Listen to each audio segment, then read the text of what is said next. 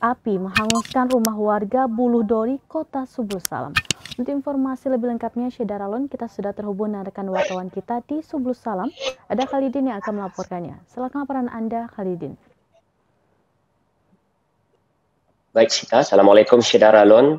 Bencana kebakaran kembali melanda Kota Subul Salam yang menghanguskan tujuh rumah penduduk di Desa Buluh Dori, Kecamatan Simpang Kiri, Kota Subulu Salam, Selasa 23 Agustus 2022 sekitar pukul 16.25 WIB kemarin.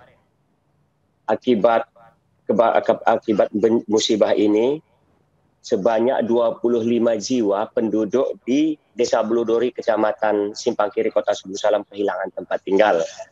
Adapun tujuh rumah yang terbakar tersebut masing-masing milik Budi Budi memiliki dua unit rumah yang dihuni enam jiwa keluarganya. Kemudian ada Ajuar Sambo yang dihuni oleh 8 jiwa, Abdul Barat 2 jiwa, Rabusin 4 jiwa, Kemala 1 jiwa, dan Muryadin 4 jiwa.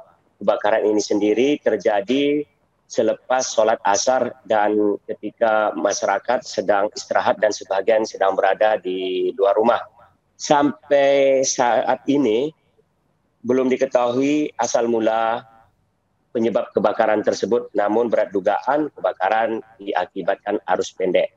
Empat unit armada pemadam kebakaran dikerahkan untuk membantu proses pemadaman api yang terus berkorbar. Sekitar 35 menit, kemudian api berhasil dijinakkan. Begitu, Sita.